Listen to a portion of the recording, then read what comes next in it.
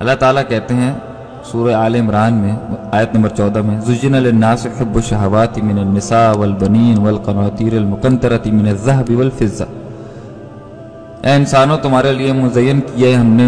तुम्हारे दिलों में मोहब्बतें हैं, औरत की, बेटों की, सोने चांदी के बड़े बड़े अंबारों की वलखैल मुसवमाती और सवारियों की, वल अनामी वल हर्फ, चौपायों की, फील्ड्स की, खेतियों की। जाल का मताउल हयात दुनिया। लेकिन ये बात तो समझ लो कि ये दुनिया की ज़िंदगी का एक मता है। वल्लादा हुसनमाब मगर जो अल्लाह के पास है, वो बेहतर है आहसन है, ज़्यादा बेहतर है इससे। और एक और मकाम में अल्लाह कहते हैं, वमल हयात दुनिया वल दारआखिरत खैरजीन यतकून अफला ताकिलून। दुनिया की ज़िंदगी तो खेल तमाशा है।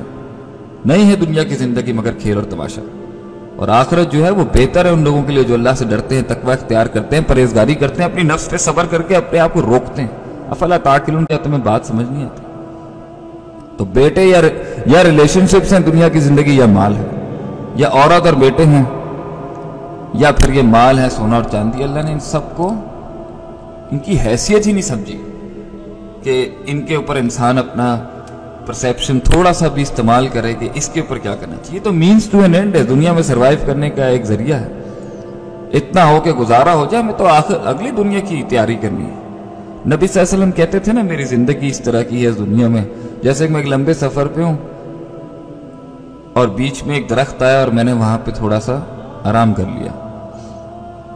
अब मैं फिर अपने सफ़र पे, वो दरख्त के नीचे बैठा हुआ वक्त जो है, नबी वसल्लम कहते थे, ये मेरी दुनिया है, बस। सफ़र तो मेरा बहुत लंबा है। और इबन उमर रज़ी अल्लाह को नबी वसल्लम ने एक एडवाइस की थी एक दफ़ा, कुन फिर दुनिया का अन्न का गरीब हूँ। दुनिया में ऐसे रहना जैसे कि अजनबी। या फिर आबिर सबील, या फिर जैसे कि तुम किसी रस्ते के अंदर मुसाफिर हो। तो इसमें सामान थोड़ी इकट्ठा किया जाता है। और अजनबी आदमी या मुसाफिर आदमी सामान थोड़ी इकट्ठे कर रहा होता है। वो तो अपने रस्ते के ऊपर बस नज़र रखता है कि मेरा रास्ता ना कहीं, मैं डिविएट ना हो जाऊँ अपने रास्ते से। सूर्य हदीद के अंदर अल्लाह ताला ने दुनिया की पूरी हकीकत को एक आयत में, बड़ी ही खूबसूरत आयत के अंदर, अल्लाह ताला की सारी आयत ही अच्छी हैं, आसन हैं इंसान के लिए, नशोनुमा का बायस है।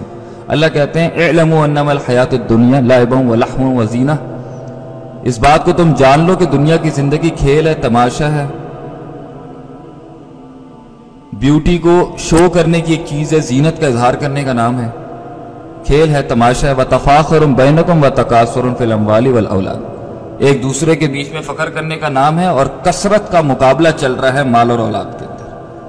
सुबहान अल्लाह वबी हमदी सुबहान अल्लाजीम अल्लाह ताला ने कैसे पाँच अल्फाज इस्तेमाल करके इस दुनिया की हैसियत मुतन कर दी? खेल, तमाशा, हुसन, खूबसूरती, मालो मता का का दिखलाना, फखर करना और कसरत का मुकाबला करना। कमसल गैसिन आजबल कुफ़ार जैसे कि बारिश नाजिल होती है किसी की खेत के ऊपर और उससे जो फार्मर है, किसान है, बड़ा खुश होता है इस बारिश से। सुम्मा यहीजू फतराह मुसफर्रा, और जब वो खेती उसकी खिलती है तो उसे बड़ी खुशी होती है। फिर वो देखता है इसको कि वो पीली हो जाती है। जब वो बिल्कुल अपनी फुल राइप हो जाती है, पक जाती है, सुम्मा यकून खताम फिर वो स्ट्रॉ बन जाती है रेजा रेजा हो जाती है।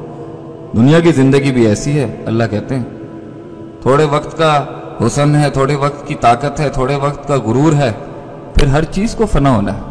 वफिल आखिरत या अजाब शदीद व मकफिरत मिनल्ला आगे की बात करो, इन सब के बाद आगे क्या है? आखिरत है जिसमें या तो शदीद अजाब होगा या अल्लाह की तरफ़ से मगफिरत होगी, व रिजवान और उसकी रजामंदी। और फिर अल्लाह ताला ने एंड में पूरी दुनिया का खुलासा कलाम, वमल हयात दुनिया अल्लाह मताउल गुरू दुनिया की ज़िंदगी कुछ भी नहीं मगर एक धोखा।